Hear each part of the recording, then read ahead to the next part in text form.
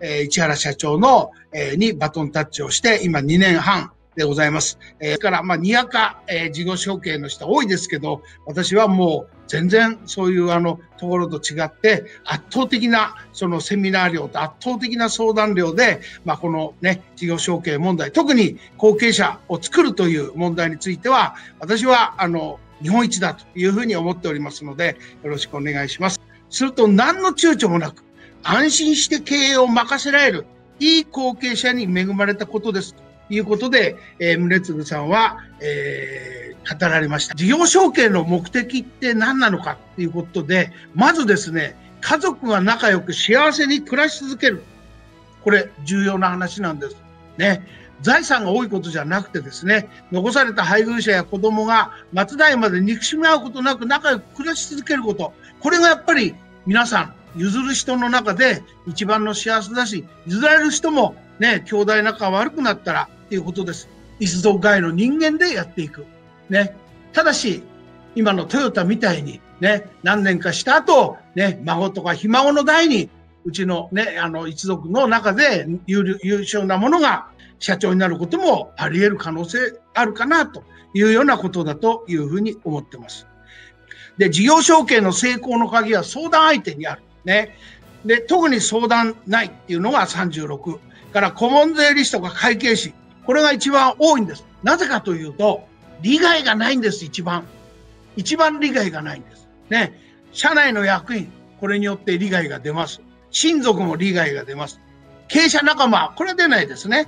だから銀行も、ね、自分たちの手数料を狙ったり、いろんな意味で、ね、あの、お客さんの幸せより、銀行の存続を優先するのが銀行です。から取引先もそうです。コンサルタントは M&A を取りたいからっていうことで来ています。ですから、やっぱり税理士会計士というのはピュアですから、相談乗るのは一番いいと思うんですけども、ただ実際にはさっき言った税金の話から来るような税理士があまりにも多い。で、100年企業になるための成長し続ける仕組み作り。これが重要だ。これはですね、人を作る仕組み作りです。ね。後継者を作る仕組み。で、後継者だけ作ってもダメなんですね。後継者につく幹部もつけなきゃいけないんです。今日、実はね、役員会があって、ね、社長、ね、の、あの、えー、いて、役員、全部、ね、私の代で採用した人間です。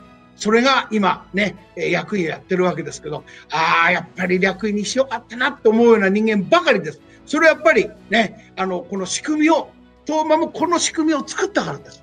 ですからそういう意味では、ね、この仕組みを作ることによって、人が育つ。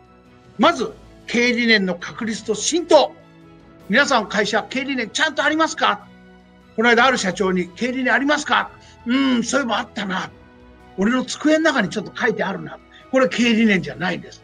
うちは、ね、あの、今、セミナールームにいますけど、経営理念がちゃんと英語の経理念もあるんですね。いつか英語を読もうということでね、日本語と英語の経理念が飾ってあって、いろんなところに飾ってある。えー、まあ、あの、親族内の承継、メリットがいろいろとあります。デメリットもいろいろとあります。ね、えー、まあ、メリットはね、あの、非常に受け入れやすいとか、準備ができるとか、会費がね、えー、所有と経営の分離、これが一番問題なんです。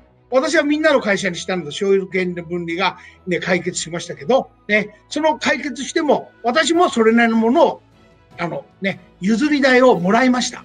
それはもう、あのね、やっぱりこれから譲ってくるのに、ただで譲ったんじゃ俺も嫌だし、と思って、ね、まあ、あの、そういう意味では、あの、ある人にそんな話したら、バカだな、お前。それを30年続けたら、とんでもないお金になるんだぞって言われましたけど、私はそうじゃなくて、やっぱり社員の会社にしたかった。ね。からデメリット、ね、親族内に経営能力、意欲があるのも限らない。相続組が複数いる場合、後継者の決定、経験の集中が困難。そういうことです。ね。兄弟経営、うまくいきませんよ。ね。どうしていかないかっていうと、まあ、お父さんがいる間はいいんです。お母さんがいる間はいいんです。いなくなると、ね、決定権者がいなくなるわけです。ですからそこでやっぱり株の差をつけていかなきゃいけないんです。ある相談に乗った時には5割5割でした。兄弟で。